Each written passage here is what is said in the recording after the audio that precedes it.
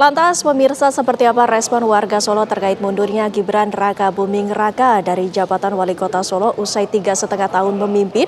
Berikut tanggapan sejumlah warga Solo, Jawa Tengah.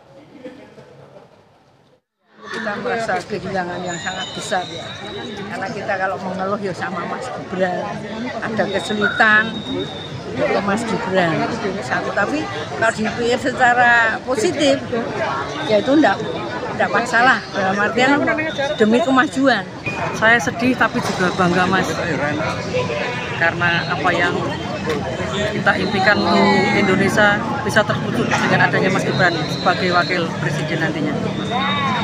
Terus uh, sejauh ini saat di pegang Mas Gibran seperti apa sih Mbak perkembangan Kota Solo? Perkembangannya sungguh luar biasa Mas. Untuk ke depan Mas Gibran jangan sampai meninggalkan Kota Solo. Berharap Mas Gibran bisa memimpin di RI 2 bisa lebih baik, bisa mementingkan masyarakat untuk kesehatan, untuk pendidikan dan pembangunan. Terima kasih.